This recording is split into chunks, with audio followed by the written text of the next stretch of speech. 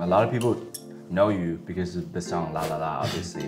You know, but I know that before you released La La La, you were a really successful musician. But La La La really took the things to the next level. Yeah, definitely. How did that happen? I made the song with Y2K. I remember we were driving back from this place. We like drove back. We were like, all right, let's sit down. He immediately started playing the melody, and then I started. I went like, uh, uh, uh, and then he was like, yo, that's fire. And then I wrote it really quick. We wrote the hook like within five minutes, and then I went into the booth. Believe it or not, the take of me actually saying, did I really just forget that melody is the same take going into it. wow. It, it wasn't staged at all. We were gonna delete it because we were like, this is this too like unorganic? And like we put it out, we didn't get any playlisting, nobody helped us. And then TikTok just grabbed it and it just went immediately. Like I got this meme made for $12. And then, I mean, the song is just catchy. It's like the first song I, when I perform that like everyone says every single lyric to. It's really dumb lyrics, but it's like